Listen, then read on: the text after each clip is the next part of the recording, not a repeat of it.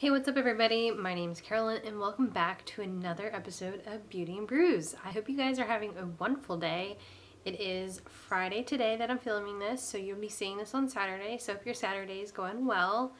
Um, today, we're doing a beer that's gonna be inspired by a trend a little bit because I went to Whole Foods and I just so happened to notice, as you can see in the title, a watermelon ale.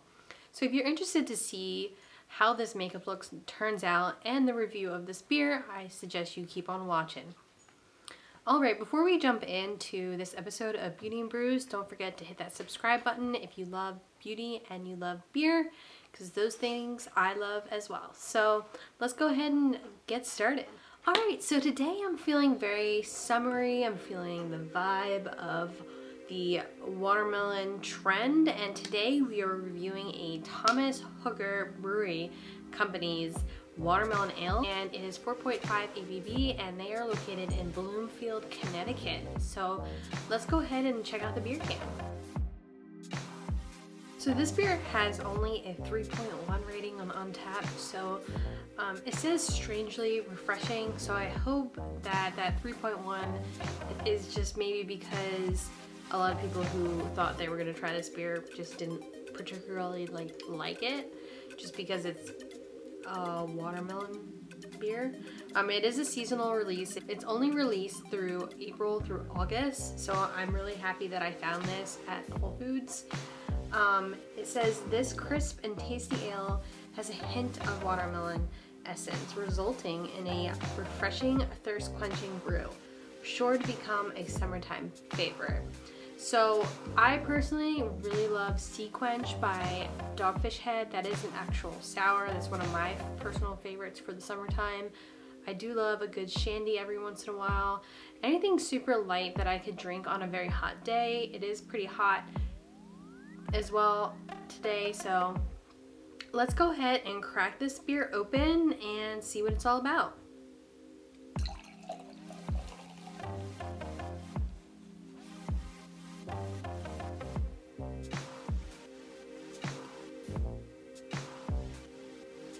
Alright, so right off the bat, you can smell watermelon immediately as you're pouring the beer.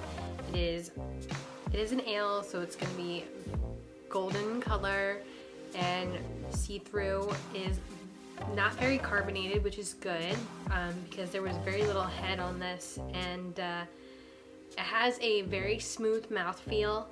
It is very aromatic in that sense of when you get that taste, you immediately taste watermelon up front. It is very clean flavored. It's not too artificial flavored and I really enjoy that when it comes to like fruit flavored beers because a lot of times they have like just this artificial flavoring to them. This does not. It is very drinkable. Um, my only concern with it is that it has that um, ale aftertaste and if you're if you aren't familiar with that ale aftertaste it just is like this kind of maltiness to it that mixes with the watermelon flavor not as well as I would prefer it but overall this is super light body and super crisp super smooth and is pretty flavorful for what it's worth since it is a watermelon ale um, I'm gonna go ahead and drink this beer while I do my makeup and I'm really excited for you guys to see this look. I have an idea in my head. Alright, so let's go ahead and jump into the makeup look and I'll meet you guys right back. Okay, so we're back and we're gonna go ahead and start with the eye primer. This is the ABH eye primer. I'm gonna go ahead and apply that all over my lids and then we're gonna go from there. I've already taken off my makeup from today in this vicinity. I don't feel like doing my whole face makeup, so we're gonna start with this color from the BH Trendy in Tokyo palette. This is the color Tempera. And I'm gonna go ahead and place that all over the one lid. I'm gonna do the other eye off camera so you guys don't have to sit through that. But I will be playing with the ABH cake liners today as well. I'm doing a yellow so I can get a little bit more of a lime green effect when it comes to using the shade Bamboo. I know that they have the shade Wasabi in here, but it is a shimmer, it's not a matte, so it's not like the best shade to create a watermelon look with.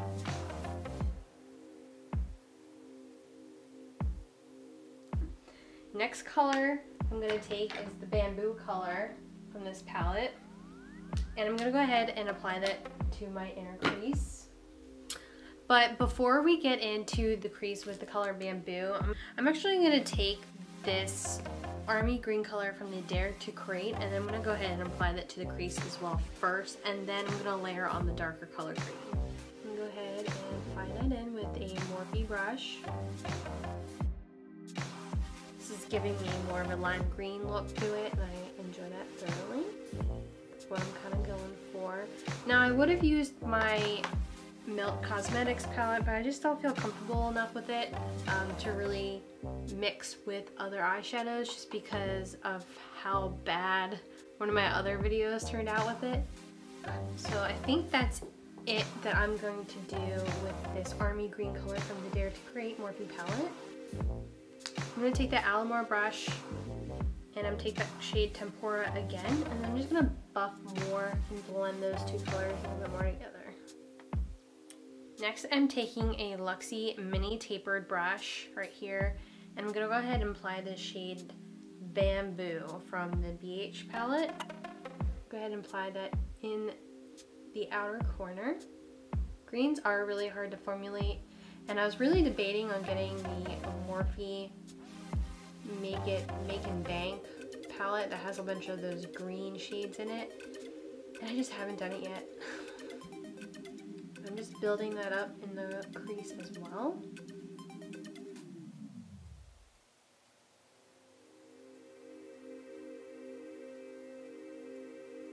I'm going to take that Morphe brush that had the army green color on it and I'm going to take that and apply a little bit more and try to deepen that up a little bit. It's not as green as I would hope for it to be, unfortunately, with that bamboo color. Even with the primer that I have on, I'm trying to like really pack that in. Let's pack it in a little bit with a shader brush. Okay, there we go. A little bit more pigment come through. Alright, so not the best.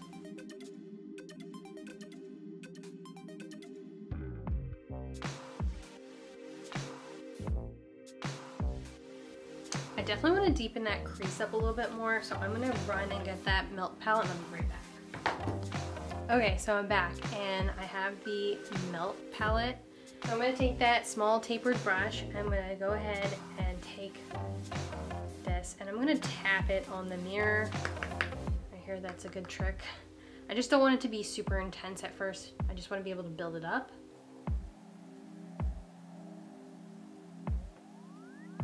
Okay, yeah, that's much better. A little bit more depth in there. It was looking really just blah.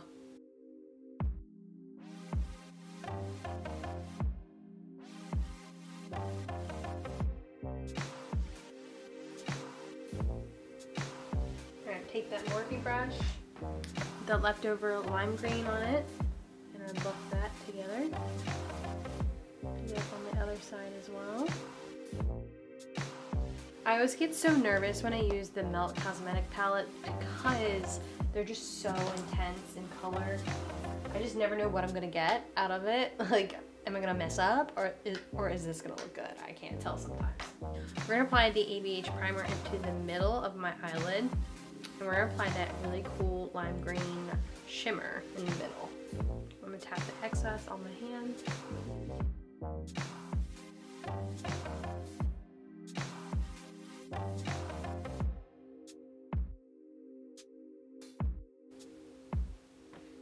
So I'm gonna take a little bit of that bamboo color and I'm gonna buff the outer bit on this just to make it less of a harsh line.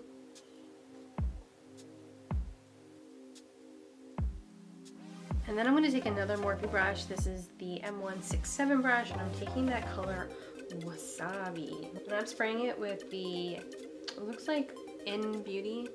I got this in a BoxyCharm monthly box as well.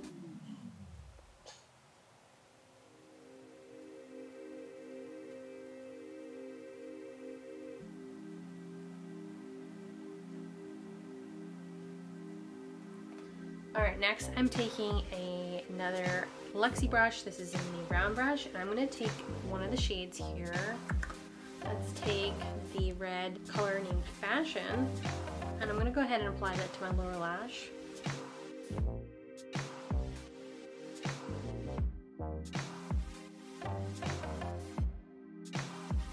And clean up some of that red, and I'm gonna take the shade Blossom. Tokyo is known for all their cherry blossoms, am I right?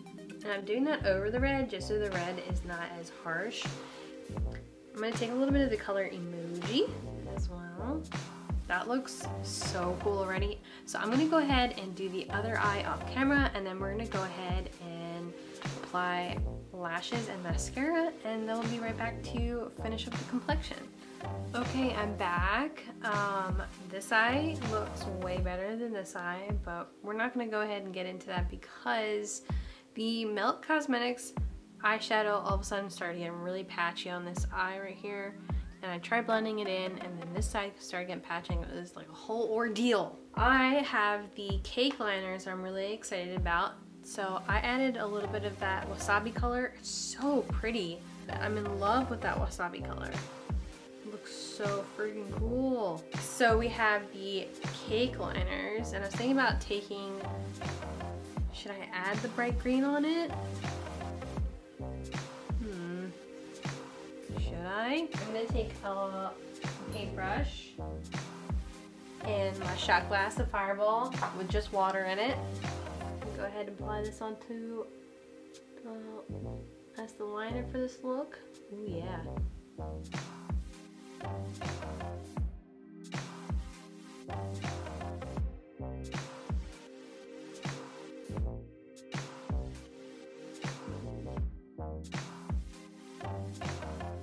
So yeah, this is where I'm at. I think this looks so freaking cool. I'm gonna take CoverGirl concealer. I'm gonna go ahead and clean this complexion up a bit.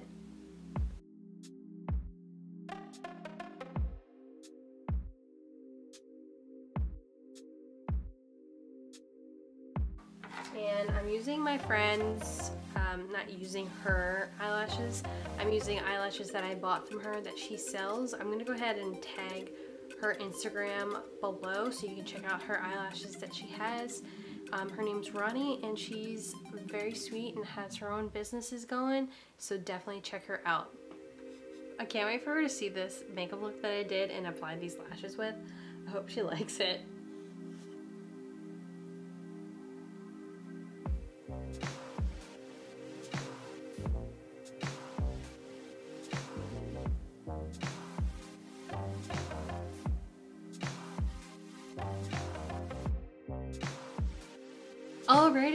This is the final look. I'm so happy with how this makeup look came out. Um, I do like this beer. Not sure if I would get it again. It is drinkable. It's not gross. But overall, it's not a amazing watermelon flavored beer that I would be like, I need to, I need to have more of that. Like I want something that's gonna be like, mmm, I want to drink that, you know? Just like when we have our favorite beers, you go, I want that beer. I could go for that beer right now. This would be a beer I may get if it was like the last option. So it was good enough to finish. So definitely check it out. If you are down for the watermelon trend, you wanna hop on that vibe, check them out, is Thomas Hooker Brewing Company. They're located in Bloomfield, Connecticut. And if you're familiar, comment down below what other beers that you have had from them. Um, I saw some amazing varieties of CBD beers that I'm very intrigued by and would absolutely love to try one day. So I'm gonna add this to the list of the breweries that I need to visit in the future. So if you've enjoyed this watermelon inspired makeup look, give this video a big old thumbs up on your way out and don't forget to subscribe if you're not subscribed. If you're already subscribed, thank you so much for watching. Thank you for watching this video. I love you guys. I'll see you next time on the next episode of Beauty and Brews. Bye.